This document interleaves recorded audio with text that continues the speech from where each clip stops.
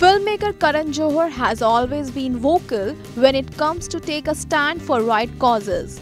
Not only Karan Johar, the entire Indian film fraternity is currently protesting against the Karni Sena, which vandalized the sets of Padmavati and physically assaulted the National Award winning director Sanjay Leela Bhansali in Jaipur.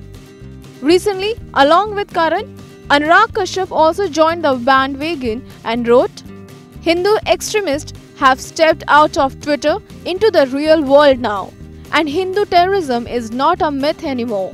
To which an online troll countered an attack on Anurag and Karan and wrote, Anurag Kashyap, hey buddy, let me give you free advice. Stop sleeping with Karan Johar. Well, after that, this didn't go down well with the Hai Mushkil director, and within a minute, he took his Twitter handle and shot back.